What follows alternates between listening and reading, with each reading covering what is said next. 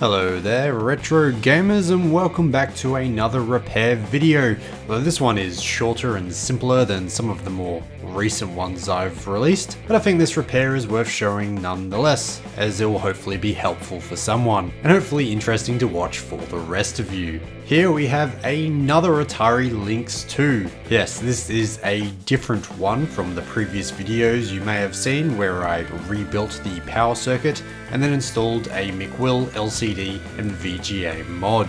This one was bought in a pretty well priced bundle on eBay. It came with a handful of games, as well as the console and some hookups, although the console was listed as not working, but it didn't list what it was. So it was a bit of a lucky dip, but with all the games and accessories, I thought I really couldn't go wrong anyway. And as you can see, it's in excellent cosmetic condition. Actually better condition than the other one if we're being honest. And powering on, you can see that the screen does work, and I can assure you that all the buttons do too. But the one thing I did find wrong with this unit is the speaker.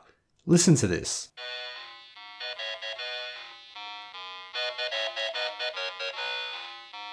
Now it doesn't actually really sound that bad when just showed by itself, but when you compare to what it sounds like when you plug headphones in, it's obvious that the speaker is probably blown. And no, that's not just what the speaker is supposed to sound like. Here's the same audio on my other Atari Lynx, which has a stock speaker as well. And here's another comparison with something that sounds a bit different.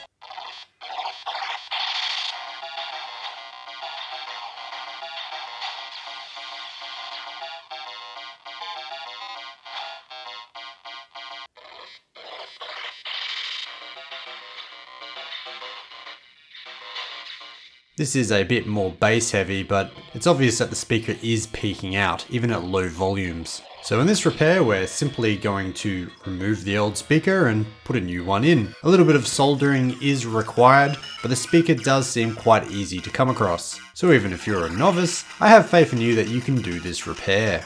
So let's get started with disassembly. If you've been watching my previous Lynx videos, you're probably well educated on how to do this by now, but if you're not, you want to start by removing the batteries. On the surface, it doesn't really look like there's any screws at all. That's because they're hiding under these bumper pads. You'll want to pry these off with a flat-headed screwdriver and just keep them facing up as we'll want to re-stick these when we've repaired the Lynx. The four screws are just your standard Phillip head as well, so you won't need any special screwdriver like when you're repairing Sega or Nintendo products. And while removing those four screws does allow the back cover to be taken off, there is one more screw holding the battery compartment in place. It is very important to note that this screw is smaller than the other four. This is because there are a couple of ribbon cables behind the battery compartment, and if you put a longer screw in, you risk piercing those ribbon cables during reassembly. So with that screw removed, we can pull out the battery compartment, and then there are those two ribbon cables to disconnect. Now, I always forget the name of these clip systems that the ribbon cables are plugged into. I'm sure someone in the comments section will educate me. But basically they are held in by these clips. So the ones in this Lynx were surprisingly stiff, but they need to be pulled in a outward direction so the ribbon cable can safely be removed. It's very important that you don't try and force these out, because if you break those clips, or even wreck the ribbon cables themselves, you're in for a world of pain. After those, there are two more plugs to remove, one for the screen assembly and one for the speaker itself. These are not held in by any sort of clip system, so these can simply be pulled out. And there we go, there's the speaker. I wasn't able to source a speaker that has that clip attached. I don't actually think there is a version out there, although the speaker itself is quite common. So we'll be removing that speaker and desoldering that clip and then resoldering that onto the new one. Very simple stuff. And here's the replacement. If you're in Australia or New Zealand, this can be found from Jaycar Electronics. It's a very basic 40mm wide speaker. I'm sure these can be found online easily as well. It should be noted that this replacement is only 8 ohms, while the original is 16. But from my very Granted limited research, it doesn't seem like this will be a problem. The original might go a little bit louder, but since it's blown anyway and I can't seem to find a 16 ohm 40mm replacement, this one will have to do. If you're buying locally like I did, I think this cost me something like $4. The speaker itself is held in using clips, and I struggled to actually remove these while everything was assembled. So we'll be removing the speaker and button assembly and simply flexing it out. To remove it, there are six screws, four on the right, two on the left, although there are another four smaller screws holding in the screen assembly. And with that, the speaker is free. There are only two wires for the connector, one for positive, one for negative. It doesn't get much easier than that. So yeah, I simply desoldered the connector.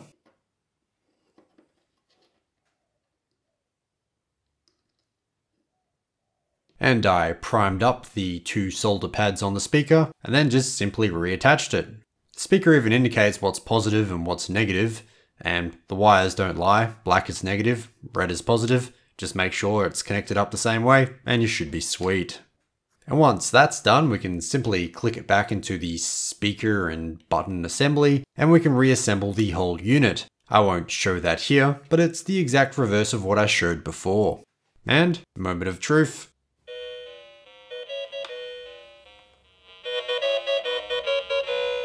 Ah, that's way better.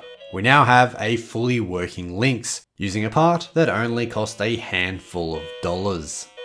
So you might be wondering why I bought this one when I just finished repairing the other. Well, it's a bit of a lame collector's thing, but I like keeping at least one console in fully original working order. I couldn't do that with the previous one since the original screen was completely bunk, but since the screen works with this and I only needed to replace the speaker, I can now use this as simply a collector's piece. I like having all my handhelds all out there next to each other, and the other one is a little bit unsightly since it does have a big VGA cable sticking out of it. Although ultimately, that will be the one I'll be using for play. But you know what? That's okay. I'm perfectly happy with this one just being for display, purely for my own satisfaction really. Anyway, that's the end of this video, a little bit shorter and simpler than the others, but hopefully it will be of use to someone, and hopefully the rest of you were entertained.